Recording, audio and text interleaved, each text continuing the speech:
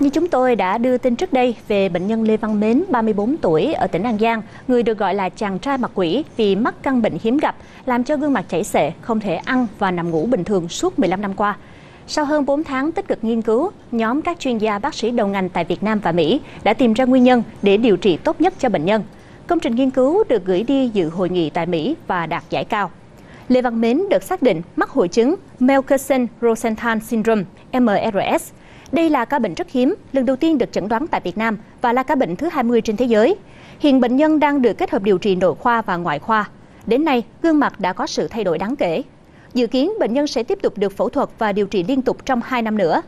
Công trình nghiên cứu y khoa với đề tài biến dạng khuôn mặt nghiêm trọng và rối loạn chức năng đa cơ quan ở một bệnh nhân mắc hội chứng Melkersen-Rosenthal 15 năm không được chẩn đoán, đã đoạt giải Á quân tại hội nghị nội khoa toàn Hoa Kỳ do Hiệp hội ACOI công bố.